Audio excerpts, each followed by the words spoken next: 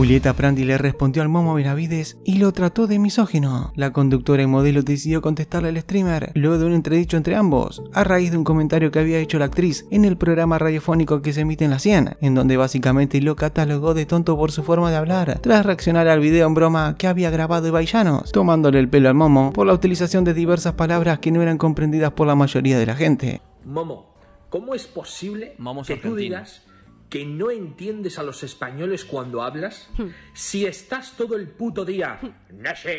Na na na na na na, Nashei, Nashei.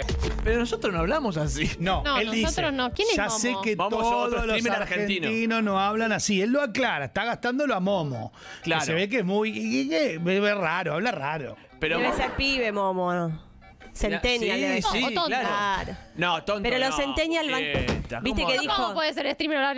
Dijo buenardo. Dijo, Por Dios. Pará, voy a decir. En referencia a esto, fue que el Momo salió al cruce de Julieta Prandi con una sucesión de historias que compartió en su cuenta oficial de Instagram y con un mensaje contundente a través de Twitter. Una nefasta que salió de rompeportones me llamó boludo y dijo que todos los streamers somos imbéciles que no sabemos hablar. Perdón por no haber nacido como artista beboteando. Igual no pasa nada si es una nena de 40 años buscando fama. Todo perdonado. Por su parte, a raíz de todo lo suscitado y la repercusión que tuvo el tema, la co-conductora del programa Sarasa decidió responderle al Momo escribiendo lo siguiente. Momo, ante todo lo obvio, no soy adepta a jueguitos electrónicos online. Por lo tanto sabrás disculpar que no sabía de tu existencia hasta que mi compañero de radio, Santiago Calzaroto, te menciona al aire. Dicho esto, que te agites vos y hagas lo propio con tus seguidores en un intento vano de descalificarme e insultarme es al menos cobarde y misógino. Claramente no escuchaste el programa porque jamás usé la palabra imbécil. Aunque a decir verdad, ahora me arrepiento. Decir que busco fama con vos es un insulto en sí mismo. Que sigas bien. De esta manera habrá que esperar para corroborar si es que el Momo Benavides decide volver a contestar algo al respecto, dada que la respuesta de Julieta Prandi potenció la polémica.